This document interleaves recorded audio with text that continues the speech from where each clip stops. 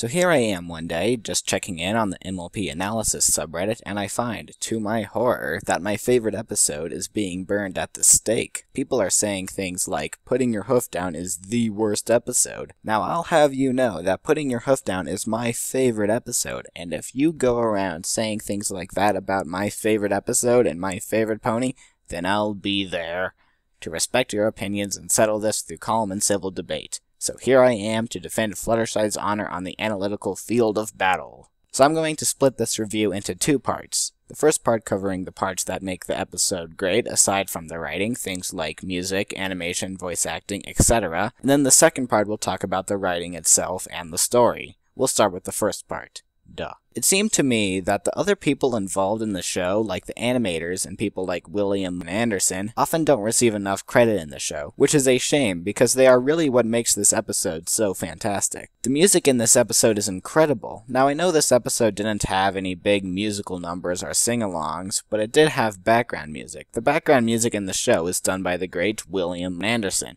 and it captures the scene perfectly. And the greatest injustice of all is that you probably didn't even notice the music, so let's fix that.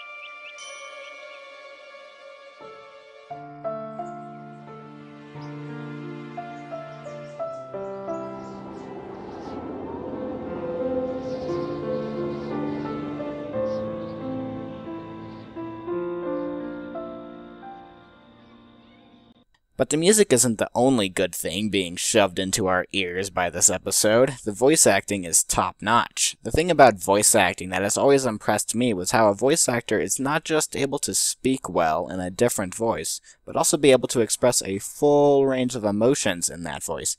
And Andrea Libman is able to do that for not one, but two completely different voices, and it really shows in this episode. Both Pinkie Pie and Fluttershy emote aplenty in this episode, and I can't help but imagine this this scene without thinking of Andrea Libman sitting alone in a recording studio having a heated argument with herself. But by far, the greatest part of this episode is the humor. Now you might think that the humor is part of the writing, but not in this episode. The best jokes come from the animators. The episode is full of fun visual gags, whether it's Pinkie breaking physics, two ponies appearing from seemingly out of nowhere, or Rarity being picked up by her horn. The silliness of all the animation sure got a chuckle out of me. The animators also have comedic timing down perfectly, with every awkward pause lasting exactly the right amount of time for maximum hilarity. Iron Will's my name, training ponies is my game. What a darling little catchphrase. An Iron Will turn you into a lean, mean, assertive machine. Putting Your Hoof Down is easily one of the funniest episodes in the whole show, but also one of the most terrifying. What do I mean by that? Well, you'll find out in part two. Stay tuned.